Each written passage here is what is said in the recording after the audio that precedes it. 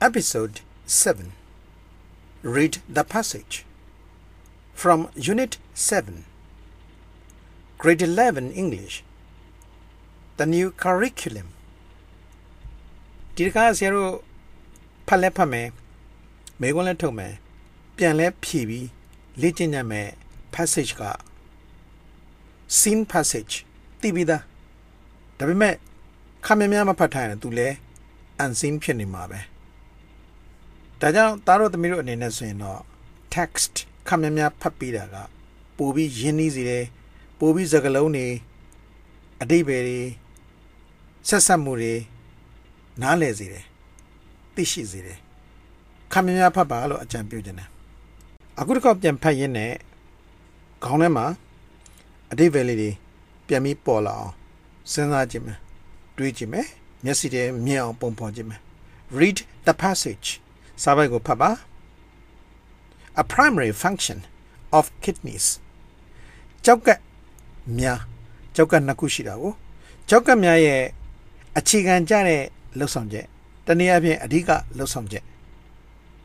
အဲ့ဒီလှုပ်ဆောင်ချက်ဟာ is the removal of poisonous wastes အစိတ်တဲ့အညစ်အကြေးတွေကိုဖယ်ရှားခြင်းဖြစ်တယ်ဖယ်ရှားခြင်းဆိုတဲ့နောင်းက removal from the blood သွေးထဲကနေတော့မှတဖြည်းဖြည်းနဲ့သွေးထဲကိုရောက်လာမယ်အစိတ်သက်နဲ့အညစ်အကြေးတွေကိုဖယ်ရှားပေးရမယ်တာဝန်ကဘသူတာဝန်လဲကြောက်ကတ်နှစ်ခုရဲ့အခြေခံကြတဲ့တာဝန်အဓိကတာဝန်လို့ပထမစာကြောင်းကပြောတယ် chief အဓိကကြတာကို chief လို့သုံးတယ် among these wastes အဲ့ဒီအညစ်အကြေးတွေထဲမှာအဓိကကြတဲ့အညစ်အကြေးကတော့ဆိုတဲ့အဓိပ္ပာယ်ထွက်တယ် are the nitrogen containing compounds nitrogen ဓာတ်ငွေ့ပါဝင်တဲ့ drop ပေါင်းတွေဖြစ်တဲ့ urea and uric acid urea လို့ခေါ်တဲ့ C နဲ့ uric acid ဖြစ်ကြတယ်အဲ့ဒါတွေအညစ်အကြေးတွေနော် urea ဆိုတာလည်းအညစ်အကြေးပဲ uric acid ကလည်းအညစ်အကြေးပဲသူတို့ထဲမှာဘယ်သူပါဝင်တာလဲ nitrogen ဓာတ်ငွေ့ပါဝင်တာလူတွေတရဝါတွေတရိษံတွေ အပင်တွေထဲမှာ nitrogen က protein အဖြစ်နဲ့အသားဓာတ်အဖြစ်နဲ့အဓိကဖွဲ့စည်းပေးတဲ့ဓာတ်ငွေတစ်မျိုးအဲ့လိုနားလည်ထားမယ်သိထားရမယ်ဘုဒ္ဓတရှင်းထားရမယ်မသိသေးမှတ်ထားရမယ်ပြောပြတဲ့အချိန်မှာပြန်ညွှန်းလိုက်တဲ့ which ဘယ်သူ့ကိုညွှန်းတယ်လဲအဲ့ဒီ nitrogen containing compounds တွေဖြစ်တဲ့ urea and uric acid ကို which နဲ့ပြန်ညွှန်းတာအဲ့ဒါတွေက result ရရှိလာပါတယ်အဲ့ဒီအညစ်အကြေးတွေရရှိလာပါတယ်ဘယ်ရလဲ from the breakdown of proteins and nucleic acids ခန္ဓာကိုယ်ထဲမှာ proteins လို့ခေါ်တဲ့အသားဓာတ်တွေအများကြီးရှိတယ်လေအဲ့ဒီအသားတွေ breakdown ဖြစ်သွားတာပြိုကွဲသွားတာတစ်ချိန်ချင်းညရင်ပျက်စီးမှာပဲဟုတ်သူကဖြစ်လိုက်ပြက်လိုက်ဖြစ်လိုက်ပြက်လိုက်ဖြစ်နေတာလေအဲ့တော့ခန္ဓာကိုယ်ရဲ့ proteins တွေ breakdown ဖြစ်သွားတဲ့အခါမှာအဲ့ဒီအစိတ်သက်တဲ့အညစ်အကြေးတွေပေါ်လာတာပေါ့ ဖြစ်လာတာပေါ့သွေးထဲကိုရောက်လာတာပေါ့ nucleic ဆိုတဲ့စလုံးကဘယ်ကလာတယ်လဲ nucleus ကလာတယ်ဆရာရှင်းပြဘူးတယ် nucleus ဆိုဘယ်မှာရှိတယ်လဲဘယ်လိုပုံစံနဲ့နှိုင်းရှင်းပြခဲ့လဲ nucleus ဆိုတာကြက်ဥဘဲဥတစ်လုံးလိုမျိုး cell ထဲမှာရှိတဲ့အနှစ်ပိုင်းကိုခေါ်တာအဲ့ဒီ nucleic acids ကနှစ်မျိုးဆရာပြောခဲ့တယ်ဘာနဲ့ဘာနဲ့လဲ DNA နဲ့ RNA ဆိုပြီးတော့ အဲ့ဒီ DNA နဲ့ RNA နှစ်ခုပြိုကွဲတဲ့အခါမှာလဲခုနကအစိတ်သက်နဲ့အညစ်အကြေးတွေတနည်းအားဖြင့် nitrogen ဓာတ်ပါဝင်တဲ့ drop ပေါင်းတွေတနည်းအားဖြင့် urea တနည်းအားဖြင့် uric acid တွေဖြစ်တည်လာတာသွေးထဲမှာနော်အဲ့ဒါကိုဖယ်ရှားပြီးတော့ကြောက်ကပ်ပဲတိတ်များလာရင်ဘာဖြစ်မလဲစက်ကြည့်အောင် life threatening illnesses အသက်အန္တရာယ်ကိုချင်းချောက်တဲ့ဖျားနာမှုများ life ကအသက်အန္တရာယ်ကို threatening ချင်းချောက်တော့ illnesses ဖျားနာမှုများ occur ဖြစ်ပေါ်လာရတယ်ဘယ်ချိန်မှာလဲ when too many of these waste products accumulate when ကနေဆိုင် accumulate အထိတွဲပြီးပါတာပြန်ရမယ် when ကတော့အခါ too many ဆိုတာအလွန်အကျူးများပြတာ these waste products အဒီအညစ်အကြေးထုတ်ကုန်နေ accumulate ဆိုတာများပြားပြည့်ရှံလာတာစုပုံလာတာအရင်ကြီးတွေစုပုံလာမယ်များပြားပြည့်ရှံလာမယ်ဘယ်ထဲမှာလဲ in the blood stream သွေးစီးကြောင်းထဲမှာသွေးစီးကြောင်းဆိုတာသွေးကြောထဲမှာပြောတာသွေးကြောထဲမှာသွေးတွေစီးနေတာကိုအဲ့ဒီသွေးကြောတွေကသွေးစီးကြောင်းတဲမှာ ခုနအစိတ်တဲ့အညစ်အကြေးတွေများပြားပြည့်ရှံပြီးစုပုံလာမယ်ဆိုရင်ဘာဖြစ်မှာလဲအသက်အန္တရာယ်ကိုချင်းချောက်တဲ့ယောဂါတွေပေါ်လာမှာ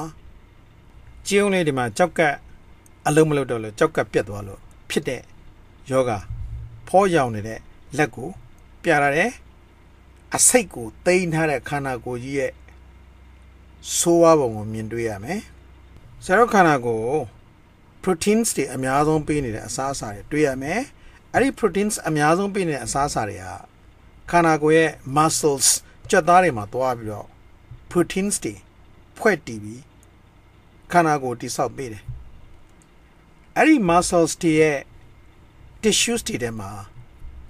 proteins တွေအများစုကသွားပြီးဖွဲ့တည်တယ်ခန္ဓာကိုယ်တိဆောက်ပေးတယ်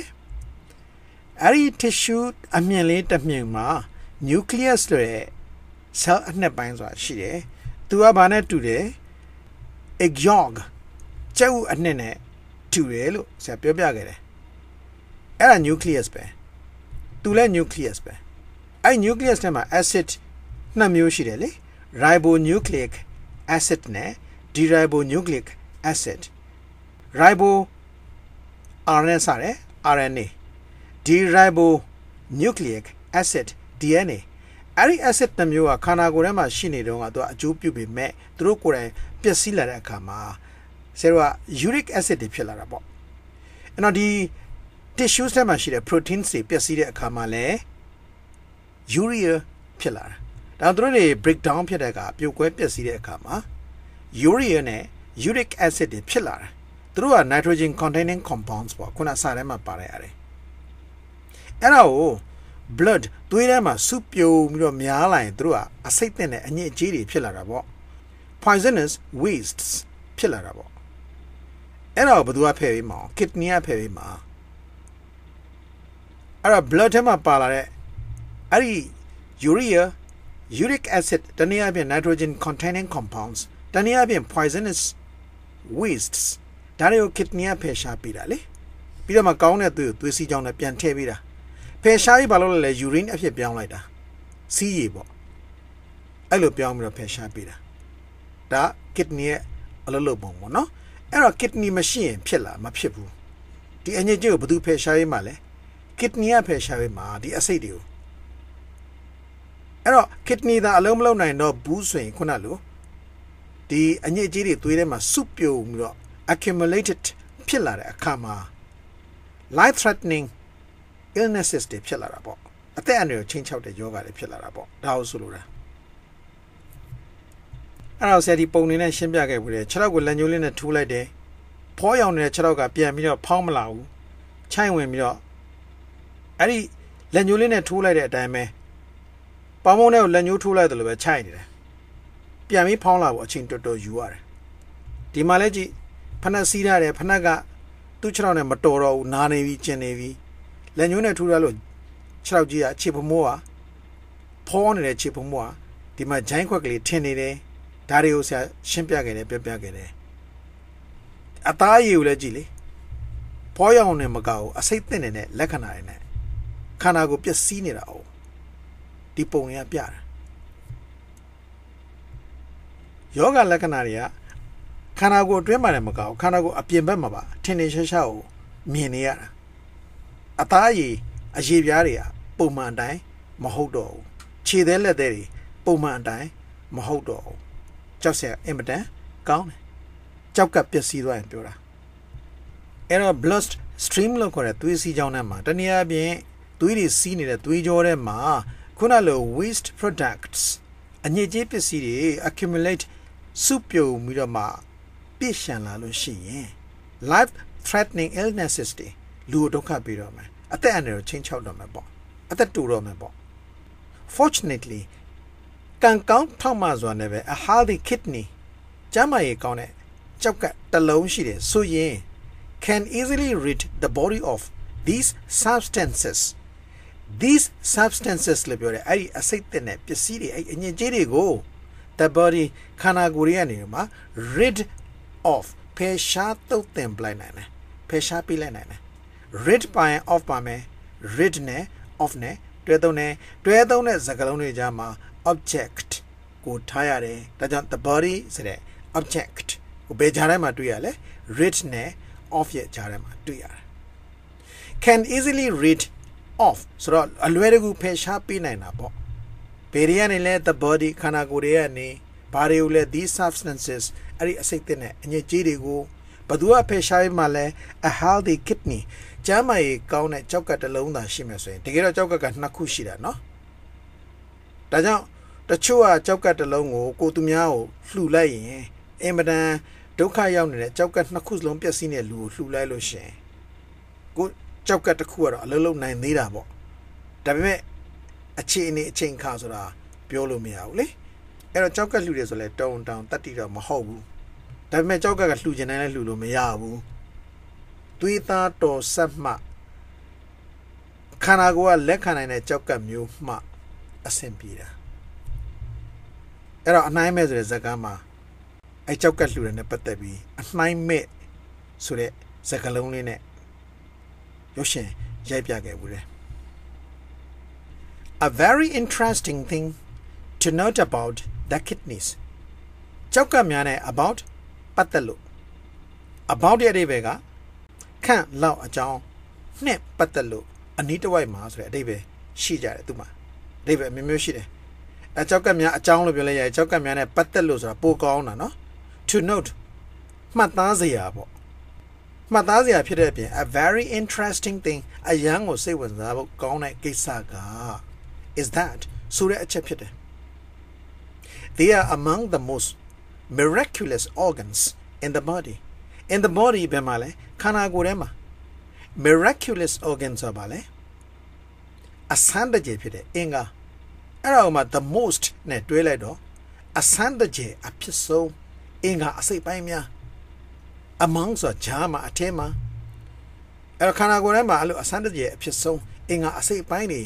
ရှိတဲ့အထဲမှာကြောက်ကလည်းပါဝင်တယ်ကြောက်ကနှစ်ခုလည်းပါဝင်တယ်အဲ့တော့သူတို့က ခန္ဓာကိုယ်ထဲမှာအဆန်းတကြအဖြစ်ဆုံးအင်္ဂါအစိတ်ပိုင်းတွေထဲမှာဒီ kidneys နှစ်ခုဟာပါဝင်တယ်လို့ဆိုလိုတယ်အဲ့ဒါကိုကြောက်ကများနဲ့ပတ်သက်လို့စိတ်ဝင်စားစရာကောင်းတဲ့အချက်ဖြစ်နေဖော်ပြပေးတာ they contain ကြောက်ကတွေထဲမှာပါဝင်တာ a total of approximately 280 miles of tiny tubules အင်မတန်အင်မတန်သေးငယ်တဲ့ပျော်မွာလေးတွေလို့ဆရာပြပြခဲ့တယ်ယူပုံစံပျော်မွာလေးတွေ သူတို့ဆက်လိုက်လို့ရှိရင်မိုင်ပေါင်း280နီးပါးခန့်မှန်းခြေအားဖြင့် approximately a total of စုစုပေါင်းလိုက်လို့ရှိရင်ပေါ့အဲ့လိုပြုံးမွားသေးသေးလေးတွေ contain ပါဝင်တယ် they contain ဆိုဒီကြောက်ကတ်တွေထဲမှာပါဝင်တာ they ရဲ့ကြောက်ကတ်တွေကို refer to လို့ပြန်ပြီးညွှန်းတာဒီလို u ပုံစံပြုံးမွားလေးလေအဲ့ဒါ tubule ပေါ့သူ့ kidney tubule လို့လည်းခေါ်တယ်ကြောက်ကတ်ထဲမှာရှိလို့ urine ကိုဖယ်ရှားပေးတဲ့ကြောင့် uriniferous tubule လို့လည်းခေါ်တယ်အဲ့ဒီ tubule လေးတွေအများကြီးရှိတယ်တန်းပေါင်းများစွာရှိတယ်ဒါကြောင့်မလို့သူတို့ကိုဆက်ဆက်လိုက်လို့ရှိရင်မိုင်ပေါင်း280ရှိတယ်လို့ပြောခဲ့တာဒီမှာလိုက်ကြည့်ပြီးလေယူပုံစံနှစ်ခုနှစ်တွဲအဲ့ဒါကိုပြထားတဲ့ပုံလေးနဲ့ထုတ်ပြခဲ့တယ်ဒီဘက်ကယူပုံစံတစ်ခုဒီဘက်ကယူပုံစံတစ်ခုအဲ့ဒါ tubules လေးတွေပဲ ဒီပုံနဲ့လည်းရှင်းပြခဲ့တယ်ဒီမှာယူပုံစံ tubule ဒီပုံစံနဲ့လည်းရှင်းပြခဲ့တယ်ယူပုံစံ tubule အဲ့လို tiny tubules ယူပုံစံပြုံးမှတေးသေးလေးတွေရဲ့ whose function သူတို့ရဲ့လှုပ်ဆောင်ချက်က is to filter impurities အညစ်အကြေးတွေကို impurities လို့ခေါ်တာကိုအဲ့ဒီအညစ်အကြေးတွေကို filter လုပ်ပေးရမှာစစ်ထုတ်ဖယ်ရှားပေးရမှာကအဲ့ဒီ tubules လေးတွေရဲ့ function အဲ့ tubules လေးတွေက kidney ဆဲမှာရှိတယ်အင်မတန်များတယ်တန်းပေါင်းများစွာသောအရေးအတွက်ရှိပြီးတော့သူတို့လေးတွေကိုဆက်လိုက်လို့ရှိရင်မိုင်ပေါင်း280လောက်ရှည်လျားတယ်လို့ပြောပြခဲ့တယ်အဲ့တော့အဲ့ impurities အညစ်အကြေးတွေကိုဘယ်တွေကဖယ်ရှားမှာလဲဆိုရင် from the blood သွေးတွေကနေဖယ်ရှားမှာအဲ့ဒီ tubules လေးတွေကတရက်တာအတွင်းမှာဘလောက်အထိဖယ်ရှားပေးနိုင်လဲဆိုတာကိုဆက်ကြည့်မယ် in the course of a day တနေ့တာဆိုတဲ့ကာလအတွင်းမှာ course ကကာလကိုပြောလိုက်တာ day ရတနေ့ they filter သူတို့လေးတွေဟာအဲ့ဒီ tubules လေးတွေက filter စစ်ထုတ်ဖယ်ရှားပေးတယ် something တစ်စုံတစ်ခုပေါ့အဲ့တစ်စုံတစ်ခုဆိုတာဘာလဲ like လိုမျိုး185 quarts of water ရေပမာဏ185 quarts လိုမျိုးပမာဏအဲ့ဒီ quarts လေးလည်းရှင်းပြခဲ့ပြီးသားเนาะနှစ်ပိုင်းတစ်ကွတ်၄ကွတ်တကာလန်နဲ့ပြောပြခဲ့ဘူးလေ တကားလာမှာ၄ quotes ရှိတယ်အဲ့ဒါကို၄နဲ့စားလိုက်ရင်ဂါလန်ထွက်လာမှာပေါ့၄၄လီ16၄လီဝင်တယ်ဂါလန်40ကျော်နော်ခန္ဓာကိုယ်တွေကနော်ဒုခန္ဓာကိုယ်လေးတွေကဂါလန်40ကျော်သောရေကို from the blood သွေးထဲမှာပါဝင်နေတဲ့ရေဒါပေမဲ့လှည့်ပတ်နေလို့နော်အဲ့ဒီဂါလန်40ကျော်ဆိုတာခန္ဓာကိုယ်ထဲမှာဂါလန်40ကြီးတော့ထားမထားပါဘူးလှည့်ပတ်နေတာအဲ့ဒါကိုသူက အဲ့ထက်အညစ်အကြေးကိုစစ်ထုတ်ဖယ်ရှားပေးတာဒီ tubules လေးတွေတာဝန် kidneys ထဲမှာရှိတဲ့ tubules လေးတွေတာဝန်ပြီးတော့ purify it အဲ့ဒီသွေးကိုအဲ့ it က blood ကိုပြန်ပြောတာ purify လုပ်ပေးလိုက်တာတန့်စင်ပေးလိုက်တာ pure ဆိုတဲ့စလုံးနဲ့ purify တန့်စင်ပေးသည် verb fy နဲ့စောသမျှ verb လို့မှတ်လိုက်ကြအဲ့ဒီသွေးကိုတန့်စင်ပေးလိုက်တယ် and return it အဲ့ဒီသွေးကိုပြန်ထည့်ပြီးတယ်ဘယ်တဲ့ကိုလဲ to the circulation သွေးလက်ပတ်မှုစနစ်ထဲကို circulation ခန္ဓာကိုယ်ထဲမှာသွေးရလှည့်ပတ်နေတာ哦သွေးလွတ်ကြောရဲရောက်လိုက်သွေးပြန်ကြောရဲရောက်လိုက်နှလုံးထဲပြန်ရောက်လိုက်ခန္ဓာကိုယ်အနှံ့ပြားကိုသွားလိုက်အဲ့လိုသွားနေတာအဲ့ဒါကို circulation ဖြစ်နေလို့ခေါ်တယ်သွေးလက်ပတ်နေတာလက်ပတ်နေတဲ့အတွက်ကြောင့်မပဲသွေးတွေရဲ့ပမာဏဒီနေရာပြင်ပြန်ရောက်လာတဲ့သွေးပမာဏစုစုပေါင်းကဂါလန်နဲ့ချီပြီးများတယ်လို့ဖြစ်လာတာဒီသွေးပဲပြင်ပြန်ရောက်လာတာ the waste products အဲ့ဒီအညစ်အကြေးထုတ်ကုန်တွေ they pick up သူတို့လေးတွေရွေးချယ်ထုတ်ယူလိုက်တဲ့အညစ်အကြေးတွေသူတို့လေးတွေဆိုတဲ့ they ကအဲ့ဒီ tubules လေးတွေ tiny tubules လေးတွေပြောတာပြုံမွားသေးသေးလေးယူပုံစံပြုံမွားလေးတွေကရွေးချယ်ပြီးထုတ်ယူလိုက်တဲ့စစ်ထုတ်ဖယ်ရှားပေးမဲ့ waste products အညစ်အကြေးထုတ်ကုန်တွေအဲ့ဒါတွေဟာ are concentrated စုစည်းပြီးဖော်ပြပေးရမယ်ဆိုရင် in a daily နေ့စဉ်နေ့စဉ်နေ့စဉ်ပမာဏအနေနဲ့ဆိုရင်3 pints of urine စီးပမာဏ3 pints စာလောက်10 pints ဆိုရင်တကလန်3 pints စာဆိုတော့တကလန်ရဲ့သုံးချိုးတစ်ချိုးကြော်ကြော်ပေါ့တနည်းအားဖြင့်ရေတမ်းမှုနှစ်ဘူးစာလောက်တော့ urine စီးရည်တွေကိုအဲ့ဒီ tubules လေးတွေကစစ်ထုတ်ဖယ်ရှားပေးတာ အဲ့အစိတ်တဲ့နဲ့အညစ်အကြေးတွေကဒီ urine နဲ့မှာပါသွားတာဆိုရင်ဒီစာပိုက်ကိုတားတော်သမီးတို့ကနောက်တစ်ချိန်မှာဆန်တဲ့တူမေကွန်းထုတ်ပုံရောဖြည့်ပုံရောဆက်ပြီးလေ့လာမယ် Thank you Goodbye See you in the next video